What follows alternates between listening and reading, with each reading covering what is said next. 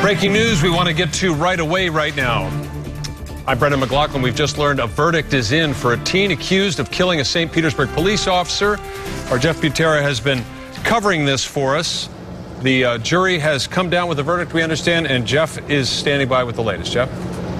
Well, Brendan, uh, probably within the last minute and a half or so, the jury came back with their verdict in this case. Nicholas Lindsey, a teenager, guilty of first degree murder in the death of Officer David Crawford from the St. Petersburg Police Department. That shooting happened back in February of 2011. You'll probably remember it because it was the third death of a St. Petersburg police officer in the span of just two months. It rocked the community. And after a trial that lasted this entire week, there is now justice for that community. Nicholas Lindsey, guilty of first degree murder. That carries with it a mandatory life sentence for Nicholas Lindsey. He is only 17 years old, but he was tried as an adult in this case. He is not eligible for the death penalty, but according to a first degree uh, murder conviction, he will go to prison for the rest of his life. What was interesting about this case was that both sides agreed that Nicholas Lindsey had shot and killed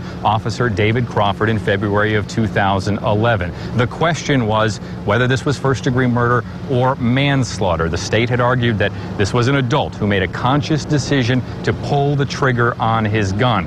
The defense had argued that this was a kid who had panicked who had been persecuted and feared for his life because of where he grew up and where he lived and responded by shooting the officer five times. Again, Nicholas Lindsey, guilty of first degree murder in the death of Officer David Crawford from the St. Petersburg Police Department.